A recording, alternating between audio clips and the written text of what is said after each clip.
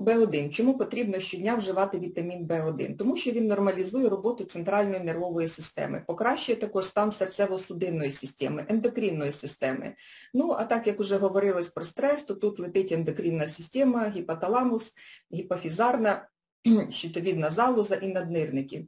Так от вітамін В1, щоб все це було відбувалося так, як потрібно, він нам край необхідний.